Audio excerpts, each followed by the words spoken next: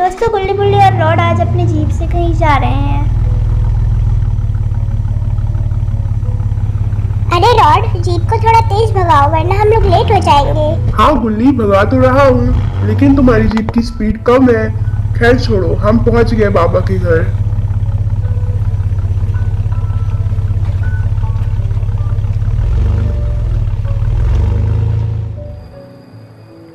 अब चलो तुम लोग गाड़ी से उतरो। हाँ ज़रूर रॉड चलो उतरते हैं Whoa.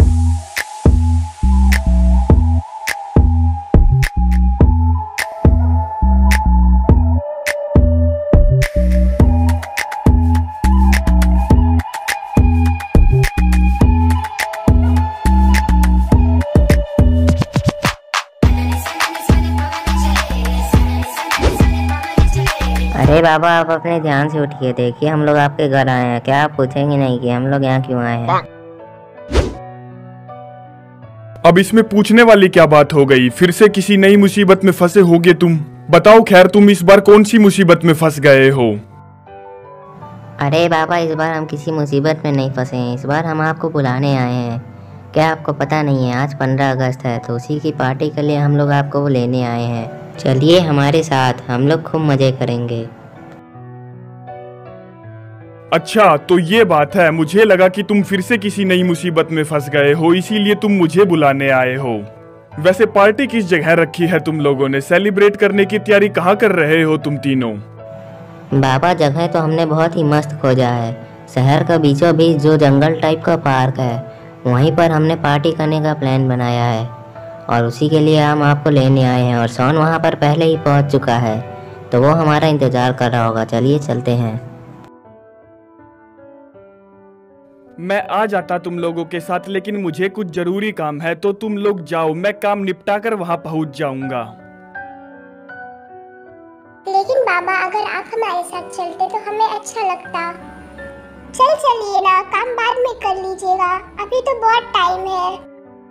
अरे गुल्ली जब बाबा को जाने का मन नहीं है तो कोई बात नहीं बाबा खुद आ जाएँगे। चलो हम लोग यहाँ से चलते हैं वरना हम भी लेट हो जाएँगे। और इसके बाद ये तीनों जीप में बैठते हैं और बाबा के घर से निकल जाते हैं। गुल्ली बुल्ली जीप को अच्छे से पकड़ लो क्योंकि मैं जीप की स्पीड बढ़ाने जा रहा हूँ। अगर गिर विर जाओगे तो मुझसे मत बोलना। ठीक है रॉड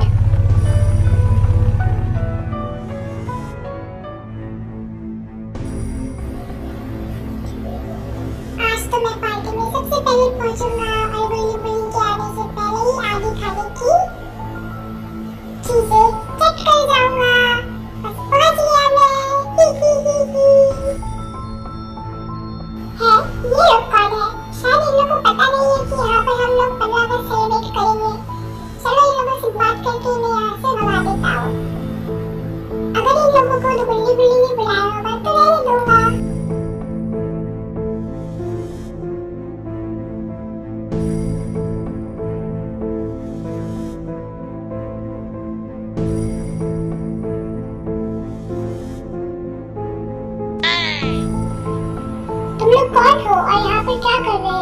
तुम्हें पता नहीं है कि यहाँ पर आज हम लोग इंडिपेंडेंस डे सेलिब्रेट करने वाले हैं।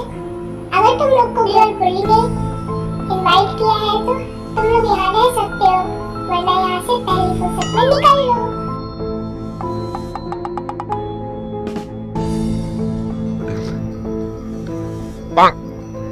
हा हा हा, ये जगह चाहे जिसकी हो? हम लोग आतंकवादी हैं, और यहाँ के लोगों को हमने पहले मारकर चला दिया। और अभी तुम्हें भी मारकर चला देंगे। अब मरने के लिए तैयार हो जाओ। और अभी हमारी गोलियाँ खत्म हो गई हैं। थोड़ी देर में हमारा एक साथी गोलियों को लेकर आएगा। फिर तुम्हें हम अपनी गोलियों से भून डालेंगे और जलाकर फेंक देंगे नाली। ये सुनकर सॉन डर जाता है और वहाँ से अपनी जान बचाकर भागने लगता है। लेकिन सॉन को ये पता नहीं है। कि जिस तरफ़ वो भाग रहा है उधर एक आतंकवादी पहले से ही है। और वो आतंकवादी शॉन को देख लेता है और फिर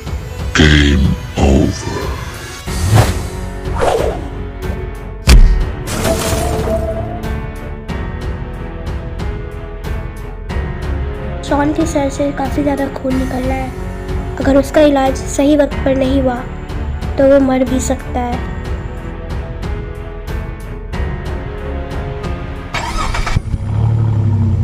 इधर गुल्ली बुल्ली भी अपने जीप को लेकर वहाँ पहुँच जाते हैं।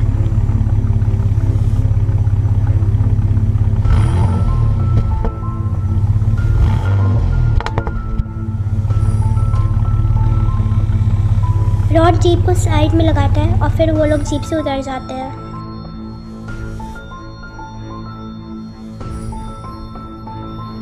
अरे गुल्ली सॉन कहाँ गया? उसने तो कहा था कि वो आ जाएगा। आखिर वो इतनी जल्दी, इतनी देर से कहाँ है? उसने कहा था कि हमारे आने से पहले वो पहुँच जाएगा। तो फिर वो कहाँ गया? तुम्हें क्या लगता है? कहीं वो खाना खाने में बिज़ी तो नहीं है? अगर ऐसा हुआ तब तो हमें कुछ नहीं मिलेगा। इसलिए चलो जल्दी सॉन को ढूंढो अरे बुल्ली, उधर देखो।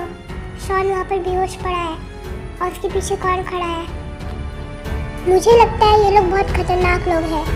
इन्हीं लोगों ने शॉन को मारकर बेहोश किया है। इसके बाद बुल्ली भी शॉन की तरफ़ देखता है और वो शॉन को देखकर दुखी हो जाता है। इसके बाद गुल्ली और रॉड सामने खड़े आदमी के पास जाते हैं और गुल्ली उस आदमी से बोलता है कि, तुम लोग कौन हो? तुम लोग यहाँ पर क्या कर रहे हो? हमने तो तुम्हें नहीं बुलाया था। और मेरे दोस्त, शॉन की ये हालत तुम लोगों ने क्यों की है? सच सच बताओ, तुम लोग कौन हो और यहाँ क्यों आए हो? गुल्ली की बातें सुनकर उस आदमी को बहुत गुस्सा आने लगता है और वो अपने सभी साथियों को बुलाने लगता है। और इधर बुल्ली भी शॉन के पास आकर खड़ा हो गया और उसे ठीक करने के बारे में सोच रहा है। लेकिन तभी उस आदमी के सारे साथी इन तीनों पर हमला करने के लिए आने लगते हैं।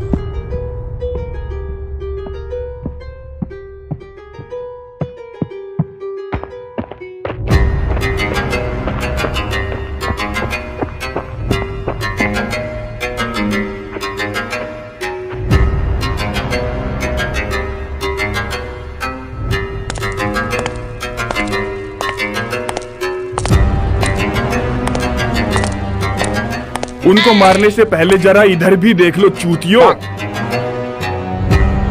किसकी आवाज़ है ये? सामने आओ। कौन हो तुम?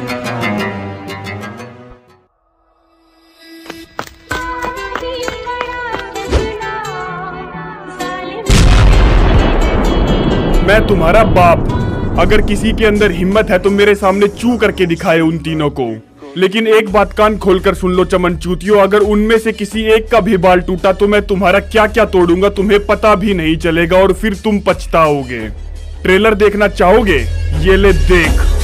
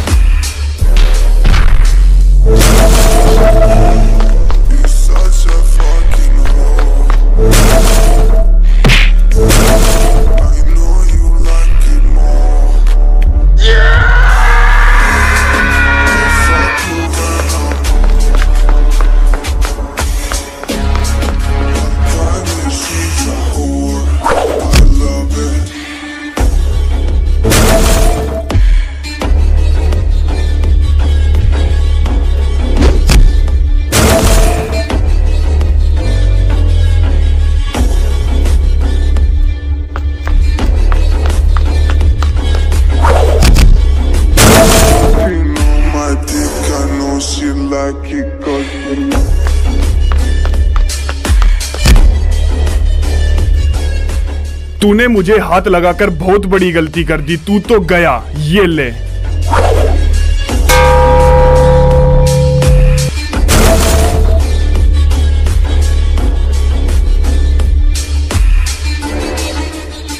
बस इतना ही दम था तुम सब में। चलो उठो और सबके सब एक साथ आओ। अब चलो ये बताओ कि तुम्हारा बॉस कौन है, जिसने तुम जैसे चूतियों को काम पर रखा है। मेरा मतलब कि ये सब करने को बोला है। हमारा बॉस लंबा चौड़ा और बहुत ही खतरनाक आदमी है। वो दिखने में तो हमारे ही जैसा है लेकिन वो हमसे बहुत ज़्यादा ताकतवर है और उसने आज तक 500 लोगों की हत्या की है। किसी भी मर्डर का आज तक कोई भी सबूत नहीं मिला। अब जब इतना सब बता ही दिया है तो वो कहाँ पर है? इस वक्त ये भी बता दो। उससे पंगा मत लो वरना वो तुम्हारा बहुत कुछ उखाड़ सकता है। इसलिए मैं तुम्हें वार्निंग दे रहा हूँ उसके बारे में मत पूछो। वो क्या कर लेगा इससे मतलब नहीं है वो कहाँ है बस तू ये बता समझाना वो कहीं भी हो मैं उसको उठवा लूँगा। ठीक है ठीक है बताता हूँ इतना भड़क क्यों रहे हो वो ज़्यादा दूर नहीं है ये जो पीछे तुम लोगों ने फार्म हाउस बनाया है ना वहीं पर है वो आराम कर रहा है। अब मुझे जाने दो। हो मैं मर गया हूँ मर गया हूँ ज़िंदा नहीं हूँ मैं मर चुका हूँ याद और बेटा क्या कर रहे हो? अंदर बैठे बैठे मज़े ले रहे हो? और बाहर तुम्हारे आदमी ढेर हो गए हैं। चल उठ दिखा अपना बाहुबल। कौन है जो मुझसे इस तरह से बात कर रहा है? किसकी इतनी हिम्मत हो गई है?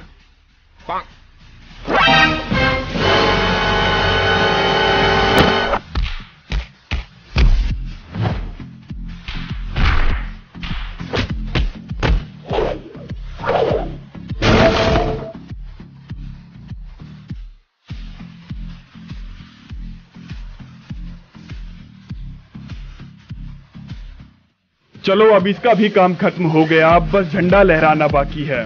पहले सावन को ठीक कर देता हूँ, फिर झंडा फहराएँगे सब मिलकर और पार्टी स्टार्ट होगी। गुल्ली बुली चलो, झंडा फहराने चलो, मैंने सावन को ठीक कर दिया है। चलो, अब साथ में तिरंगा फहराया जाए।